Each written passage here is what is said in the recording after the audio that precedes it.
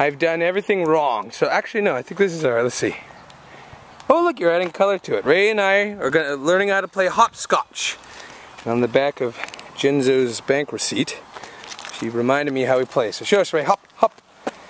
So actually, the one that I made is a little incorrect. So I'm gonna fix it and then we'll continue. We'll continue playing. Keep on practicing.